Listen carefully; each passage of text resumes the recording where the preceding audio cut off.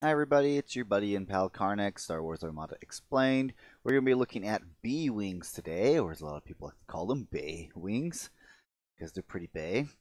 So Bay Wings are a squadron for the Rebels. So B-Wings, uh, if you see there, the generic version, you can bring as many of them as you have the points to ability to bring, which for squadrons it's 134 points in a standard 400 point game. So B-Wings, oh, that's some crazy thing going on there. There we go. B-Wings, you can see their symbol in the bottom left-hand corner. Uh, opposite of that, you're going to see their point cost, which is 14 points. So for 14 points, it's a whole big hurt package in high hull. and just, oh my gosh, B-Wings are so good.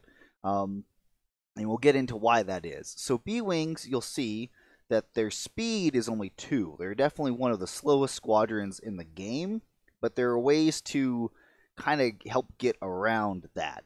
So speed 2, 5 hull though, still really good, 5 hull.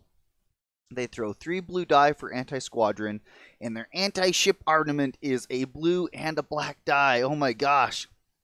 And why is that so good? Well, they carry the, the keyword of bomber, meaning that when they do throw a, a critical symbol on their die, that also counts as a damage when attacking ships, meaning that B-Wings have the potential of throwing 3 damage in a single attack. And that is really good because kind of like 3 damage is kind of like that sweet spot where, you know, for even large ships, it's like, oh man, like even if I redirect this, that wipes out, you know, a shield zone, either in my front or my left or right, or if they're hitting like a spot that doesn't have any shields, it's still it's a lot of damage. So let's get into B-Wings. So the B-Wings, uh, for in terms of their speed, you can see here, distance 2, you got 1, and the red is 2, and then three, four, five.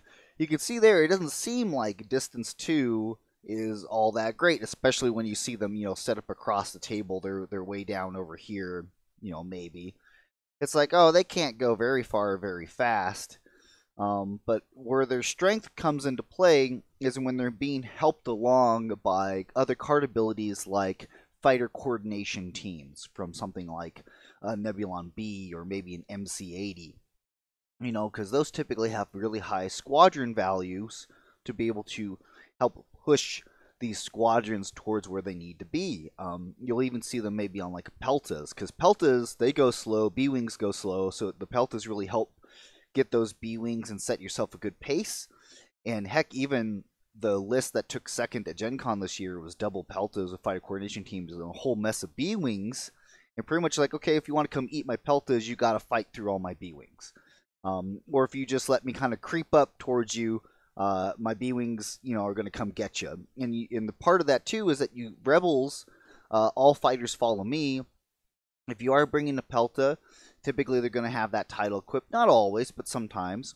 Or if you have a CR90, uh, throw Liberator title on there and bring that one-time use of, a, of All Fighters Follow Me. It's typically only needed the one time. So now your B-Wings are suddenly speed 3, and then again, if they're being pushed along by fighter coordination teams, like their threat range becomes huge. Their, their speed 2 is not really limitation in the right builds, in the right hands. And still being able to throw three blue die, they still are capable of dogfighting. Um, and with the high hull value, I mean, they pretty much can engage TIE fighters and, and usually end up on top. Um, compared to the X-Wings, which X-Wings are 13 points, um, and sure, they might be able to travel a speed more, and they have four blue anti-squadron dice, but again, they're throwing only that red dice with Bomber, which is not nearly as high as a damage output as potentially three. So, I mean, let's let's walk through it in terms of, you know, if you do get up within distance one to attack a target, again, if you're throwing that blue and that black, which, hey, even then, that's still two damage. That's still really good. And where you'll see a lot of pairing with B-Wings is potentially people bringing still like Toryn Farr or Bomber Command Center. Because Toryn Farr allows them to re-roll that blue die. Like, for example, maybe they rolled uh, an accuracy in a blank. It's like, well, I can Bomber Command Center that black, in which case it rolled back into a blank, in which case you can be like, oh, I still need to do a, do something with this attack. Now I control and far this blue, and okay, Vassal, let's see how you're going to roll. So you know, let's try that again. There we go. All right. So, you know, you can re-roll that blue die at least into some kind of damage, or again, if you're just trying to fish and you're just wanting to, like, I want maximum damage output. There we go. Something like that, for example.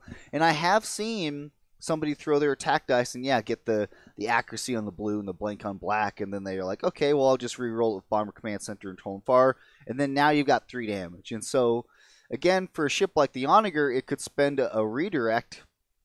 A it can move two shields to the side and then take two on the front But B wings, there's never just one. You know, then there's there's that one, and then there's the one after that. Then what happens if he throws, you know, three or two damage? Well, then you brace and take one, but then like you can see how these squadrons really start to compound on these on ships, especially small ships and medium ships. They just really start to wear out. Or if you they are attacking a larger ship, you're you're wiping out shield zones so that when your ships finally do get in range or are in range to attack with red dice, they're punching in the hole at that point. B wings are incredibly powerful. Don't let that speed two fool you, especially when you compare them to all how fast all the Empire troops get around. Because even if you do come in, for example, to engage with like interceptors, you know the B wing can still throw those three blue die and in this case, it's only dealing the one damage, but you know, typically you're looking at about two damage. And those interceptors, even if they're throwing, you know, the two counter back, you know, the B Wing can usually soak up at least two interceptors or two to three squadrons, depending on how well your opponent is rolling or not rolling. Um, but so B Wings are still good in a dogfight. Uh, they're not heavy, so they can still protect your own ships, which is what makes them, you know, uh, comparable to why bring them and why not a Y wing? Well, again, B wings throwing the double blue die or double die. Y wings only throwing still the one die. Y wings are heavy, um, and this is only four points more. It has another anti squadron dice. Uh, y wings, sure, they have one more hull, but I mean, there's pros and cons to bringing both, and it all depends on what your fleet list is set up to be. But generally, B wings in right builds, right hands, my opinion is that they are slightly better than Y wings. But there are definitely there's comparisons. It all again just all depends on what you need, time and place. So that's B wings. There's nothing super crazy going on about them. Like, like I said, you really want to bring like fighter coordination teams to maximize uh, your B wing use. Okay, let's talk about the unique generic squadron which is why do we call them that? It's because uh, it's unique in the fact that there's a little dot or bullet point in front of its name, in which case this is Dagger Squadron. But you can see it does not come with any defensive tokens. That's why we call them unique generics or unique uh, generic uniques or etc. So what's the difference about this B-Wing? Well, this B-Wing um, keeps the same speed, same health, but it throws two blue and a black dice on anti-squadron but it still has that blue black for anti ship. This squadron not only has bomber, but it also has the swarm keyword, which this card is only 15 points, so it's one point more than a regular B Wing. And remember, swarm allows you to re roll a dice when you're attacking enemy squadrons. So why would you bring something like Dagger Squadron over a normal B Wing? Well, in most situations, you're not. Um, Swarm is nice. Can't deny the usefulness of Swarm if you're trying to get a little bit more dogfighting capability in. Um, but for an extra point, I mean, you you're you're usually still bringing other squadrons that are dedicated in that fighter killing role. That's not typically what you're bringing a B wing for. Um, compare, I mean, you could pair them up with something like Z95s, Lieutenant Blount, and yeah, you're getting a lot of reroll capability for in terms of anti-squadron. But again, you know, just because B-wings can do a bit of dogfighting, that's not where their specialty is. You still want to bring other squadrons that are better at that. But you know, if if you want to, dagger is fun. I, there's definitely still um, some instances where you could say, you know, dagger has some usefulness. So that's dagger squadron. Let's talk about Ten Numb. Oh man, Ten Numb. Everybody hates Ten Numb. So Ten Numb is unique. You can only have one of him in your fleet, just like with Dagger Squadron and Keyan Farlander that I'm going to cover here in a moment. Again, speed 2, 5 hull. Uh, he is 19 points. And again, he's got the double blue black for anti squadron. Again, blue black for anti ship. He still just has the bomber keyword, but his card ability, his card ability is so good. He's got double brace. It says While attacking a squadron, you may spend one blue die with a critical icon. If you do, each other enemy squadron at distance 1 of the defender suffers 1 damage. Why is this so good, and why is it better than Mauler Mithel's ability? So if you watch my TIE Fighter Squadron video, you know that Mauler Mithel, he does an AoE 1 damage around himself with any squadron he's engaged with at distance 1. Meaning if he came down and plopped himself next to all these B wings, all those B wings would suffer one damage before he even attacked anything. Very powerful ability, except, for example, if all these B wings are obstructed to Mauler Mithel and they're hiding around this uh, debris field, if he came and plopped right here, guess what? Even though they're all at distance one, uh, he's not engaged with any of them, meaning his ability doesn't work because it relies on engagement and these are all obstructed to him, meaning no engagement. So why is Numb better than Mauler Mithel? Well, there's a variety of reasons. One, again, double brace, bomber, uh, 19 points. So Mauler is 15, right? Okay, so 15 for Mauler. So you're spending four points more, just only four points more. You get somebody who can bomb like crazy and also has the ability to dogfight and really kick some butt if you need him to, to dogfight. Because his ability does not rely on engagement at all. It doesn't require line of sight. Remember, his card ability just says, you know, any target that is at distance one of the target you're attacking takes one damage. They suffer one damage. And this damage can't be scattered. This damage can't be braced. It can't be redirected because they're not. It's not an attack. It's just uh, damage. It's a splash damage effect. So what what am I meaning by that? Well, for example, let's say I'm attacking Mauler Mithel, and he is sitting in this debris field, and these interceptors are kind of like hiding behind him, saying, you know, ah, you have to, you have to come through Mauler in order to get to us.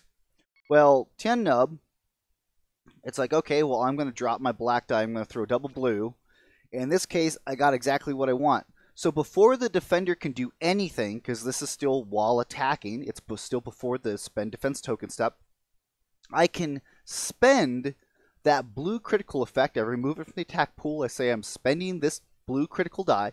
I'm going to trigger Ten Numb's ability, which again, it's while attacking a squadron. You may spend one blue die with a critical icon. If you do, each other enemy squadron at distance one of the defender suffers one damage. So the target you're attacking doesn't suffer any damage from his special, but everyone at distance one of him Sure does. So these interceptors that are hiding back here, guess what? They get plinked for one damage apiece. Uh, and then you're still doing one damage to your target. So now Mauler has to decide, oh man, do I just take this one damage or do I spend my very useful scatter to not take that damage? Especially, you know, if this compounds, if there's follow-up targets. And again, why is this so good? Because it's not only just the fact of it doesn't matter that Ten Numb can't see his targets because even if, for example, let me see here, like like this, for example, even though there might be a ship between Ten Numb and we'll say this interceptor, guess what? Well, maybe the large base maybe doesn't work out so quite so well, but maybe if I do something like this. Here we go. There we are. All right, so now you see that Ten Numb He's at distance one of the TIE receptor. Sure, it's obstructed, but again, he can still make an attack. And then if he does get that hit, blue hit and crit, again, distance one of him, sometimes you'll have like a bunch of squadrons that are all hiding over here. And if they're all distance one, even though he's attacking him, it's splashing out to all the squadrons, the enemy squadrons that are around him that could be hiding on the other side of this ship, uh, or obstacles, or what have you. And so you combine this with something like Yavaris. Uh, I mean, I've had like Ten Numb fly up, attack one squadron twice just to deal splash damage to all the scatter aces around him, and watch all my scatter aces drop from three health to one health from two, you know, Yavaris attacks, or uh, maybe it's a la- it's a last first. Uh, maybe there's Adar Tallon. I mean, there's a variety of different ways where you can suddenly see, especially for Imperials, all of your squadrons die in the space of one to two activations. And that is just an extremely powerful ability. Cannot understate that. I, I've brought Ten Numb um, in my Corellian or my Rebellion in the Rim campaign, And my opponents initially just threw all their squadrons at him, but then he would live because five health, double brace. Uh, and then he he gets to go, and then he's splashing, dealing damage, and then my squadrons just kind of mop up after that. He's just extremely strong for 19 points. And again, he's still throwing uh, that blue black for anti ship, is still capable of dealing that 3 damage. Um, just very, very strong squadron. And again, don't let that speed 2 fool you. Typically, they're backed by fighter coordination teams. So that's why Ten Numb is so powerful because his ability doesn't rely on uh, engagement to work like Mauler Mithel does. It's just, is it at distance one? Yes, take a damage. All right. Let's talk about Keyan Farlander. So Keyan Farlander, you really don't see terribly too often. Uh, again, speed 2, 5 hull, double brace. He's 20 points. Uh, again, Keyan Farlander is unique. You only have one of them in your fleet. Um, but he only he still he he only throws through blue anti squadron dice, but his anti ship dice is double black double black. I think he's the only double black bomber in Armada. I could be wrong about that, but I'm extremely confident he is the only double black bomber in Armada, which means his potential output is four damage if he rolls double hit crits on those things, which is that's mind blowing. That's so much damage for 20 points. So Keyan, what uh, he's still only just has the bomber keyword. What is his card ability? While attacking a ship if the defending hull zone has no shields, you may re-roll any number of die in your attack pool. So his ability only comes into effect when attacking a ship and only if the hull zone he's attacking has no shields. So, like for example, if you're activating like two or three squadrons, you fly up, you you know you shoot like this hull zone, for example. maybe he's redirected to over here. Well, guess what? Now, for your last activation, you bring up Keyan Farlander. Now you can shoot that unshielded side. You can roll your double black. In this case, you're like, oh, you know, normally that would have been like, oh, oh well, but now you can trigger his special ability. Ah, I can re-roll that blank. And hey, at least you're getting two damage out of it. But most of the time, when you are rolling double black like this, you're usually going to roll a hit crit in a hit, although Vassal is gonna there or, or double hit crits in this case, as you can see there. I mean, odds are pretty good you're gonna get a hit crit in a hit. Um, or at least a hit crit in a blank. It's pretty rare that you only ever do like one damage. But again, you know, with that unshielded side, it's giving you that reroll ability if you want to to fish or if you need to fix, you know, maybe you got double blanks. 20 points, um, typically, you still will just see more of Ten Numb over Keyan Farlander because, again, you want that dual roll. You can kill squadrons, and I can kill ships. Keyan Farlander is, I'm really only good at killing ships. I really don't want to fight squadrons. That's why you see T- uh, Ten Numb far more often than Keyan Farlander. But again, Keyan Farlander is the only squad in the game that can have that high of damage output. No other squad even comes close. Um, so that's B Wings. There's no other crazy things going on with them, no like rule changes or, or interactions or anything else going on like that. Um, of course, if you if you feel like I missed anything or got anything wrong, please be sure to point it out. Let me know. Give me some examples of where you maybe have seen bee Wings be super useful. Um, do appreciate you guys watching the videos. Uh, of course, I'm going to keep doing videos on squadrons. Got to wait for the new Wave 8 cards to come out. I'm going to keep working on my Armada reference manual. So yeah, uh, appreciate you guys watching. I'll catch you next time.